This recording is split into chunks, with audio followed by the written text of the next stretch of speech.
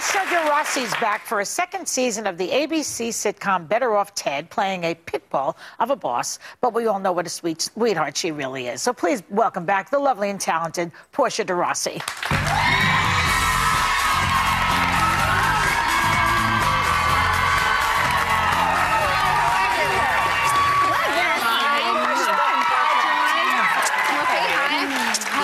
Portia, you know, you were here before in 2003, I believe it was. That long ago. Yeah, that's what they tell me because it's a long time ago. Right. Um, and something happened that day. Tell the audience what happened. Well, he, what I can remember was I was sitting on this couch and I was in the middle of my segment. I was talking about Arrested Development. And then all of a sudden, the stage manager rushed out onto the stage and told us that we had to evacuate the building because there was a fire. It was live. But get this, he was the, the most interesting part of this for me was that I, at the time, was very closeted and very, very afraid that one of you would ask me about my private life. So I was sitting here very nervous. Mm-hmm. And, and then, from what I remember, somebody maybe asked me something about my private life, or we were kind of getting into that realm. And then, like divine by the intervention, bell. saved by the bell, the alarms went didn't off, have to and I didn't have to come answer. out that day. But when did you come out? At what year was it? Oh boy, Because that was Um, 2003. It seems like you've been out a long time. Well, I guess most people knew for sure I was gay when I was with Ellen because it's hard to Yeah. be with Ellen and Yeah. kind of, uh, yeah, not let people know. So She'll um, shout it from the rooftops. she will. Yes, bless her, she will. And you know, so it took uh, it took me quite a while because you know I was one of those actresses who was very afraid that my whole career would be over. Like if- we were just talking you about. really exactly. it. Yeah. When you, when, what was your reaction to Meredith Baxter this week, and how you think it'll affect her at all, or if at all? Well, it's hard to say. I don't know if I'm going to be affected by it. Right now, I'm employed on a show, and I love my show, and I play a straight character. Yeah. And uh, I have uh, romantic interests on the show with men, and it seems to be going okay. Well, Yeah, uh, you the, got the men will always believe that a woman like you can be had by a man if they she really wanted to, if he was really hot enough. That's the truth. When it's a guy, they can't accept it as easily. But every man is fantasizing, oh, Portia, she's not really gay. She would go for me. Well, my mother started out saying that, and then by the time I actually your got mom to a thought point you would where go for her? Right, no, no, that, It's a that I wasn't fantasy. really gay, It's a fantasy that it was theirs. a phase, or that it Right, wasn't. right. I, actually, people didn't believe me for a really long Right. time. Was, um, you, you and Ellen, you guys were married legally in 2008. So it's been 2000. So it's now it's a couple years. Look at that. That is so cute.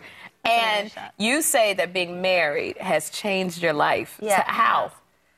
Well, I think that you have to be married to know how different it is than just being mm. together with someone. It's work, huh? No, Oh, it's not wonderful. work. Really? Actually, it's oh.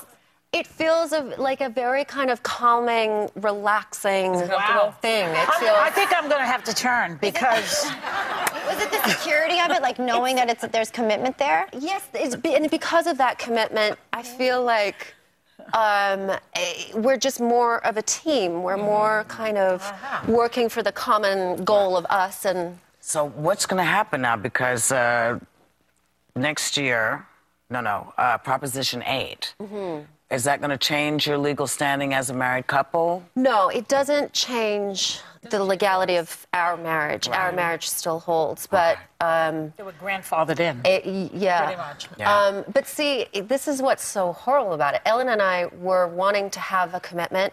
We were ready for for the, for that kind of, Mm-hmm. of life.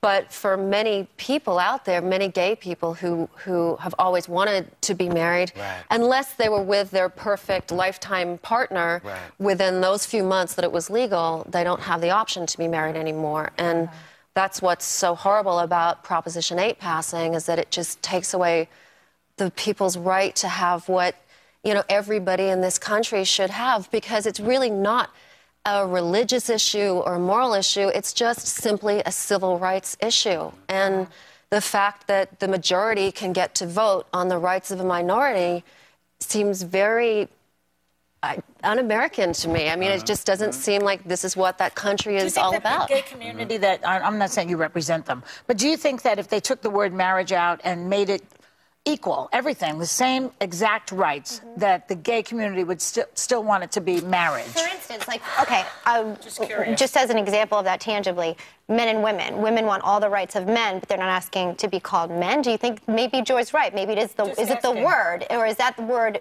more important than the rights?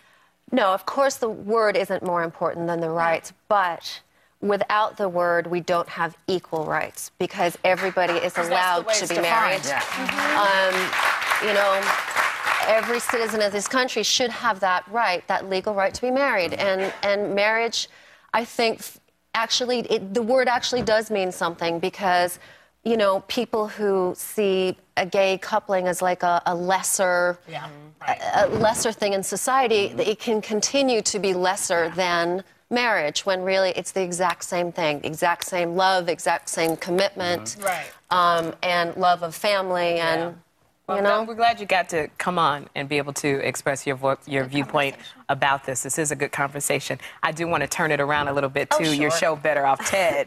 um, we we have this is an office comedy, and you played the uptight boss Veronica. So we got a sneak peek of next week's season premiere. Take a look. Okay, this is so funny.